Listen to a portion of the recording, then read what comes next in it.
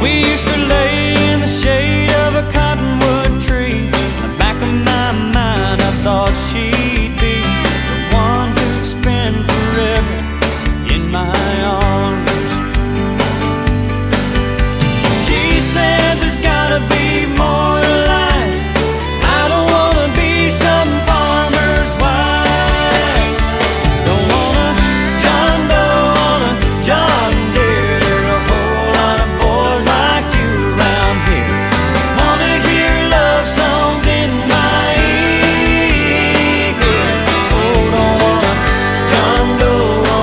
John Deere, not a John Doe on a John Deere.